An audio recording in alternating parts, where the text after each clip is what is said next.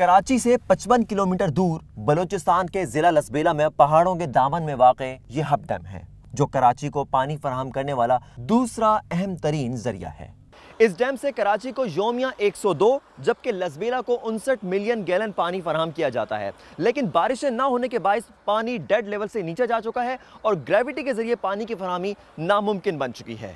गुजशत कई माह से हब डैम से कराची को पानी की फरहमी मुकम्मल तौर पर मअतल है। जबकि शहर में आजकल पानी का बहरान शिद्दत भी इख्तियार कर चुका है। इससे निमटने के लिए डैम की निचली सतह से पानी को पंप करके फराहम करने का मंसूबा बनाया गया, जिसके तहत इब्तदाई तौर पर 35 मिलियन गैलन योमिया पानी की फरहमी शुरू भी कर दी गई है।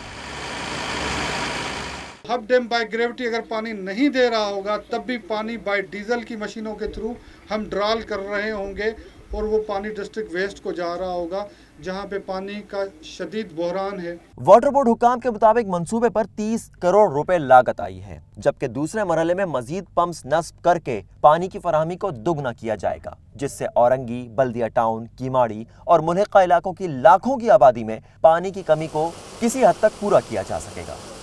वाटर बोर्ड हुकाम का कहना है कि हब डैम से पंपिंग के ज़रिए पानी फराहम करने से शहर में पानी का बहरान ख़त्म तो नहीं होगा, लेकिन इसकी शिद्दत में कमी ज़रूर आएगी।